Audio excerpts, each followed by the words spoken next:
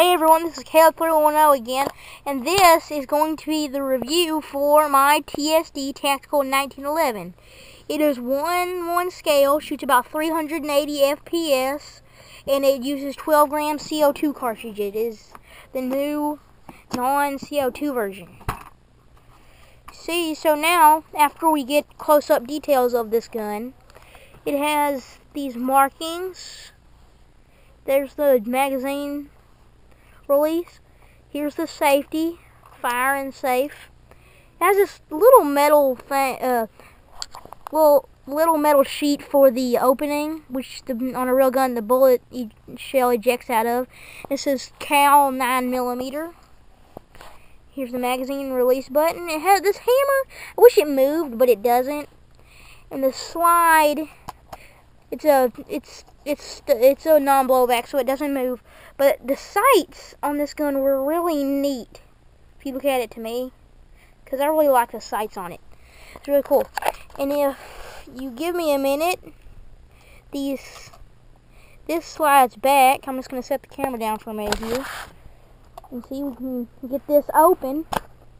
See, it comes back there, and the CO2 is concealed in the grip. Slides back on the other side it's a small window showing what's inside but fairly good gun.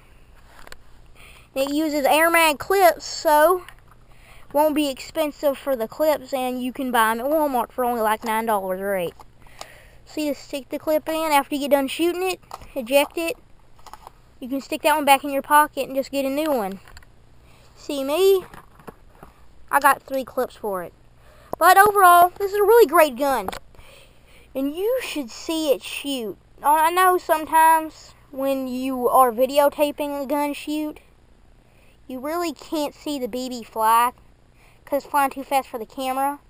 Unless you had a high speed camera, that's the only way you can get it. But it flies really fast.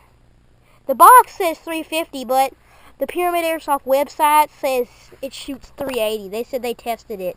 So I'm just going to go with what they say. Because it definitely doesn't look 350 when you shoot it. Because that BB is at the barrel.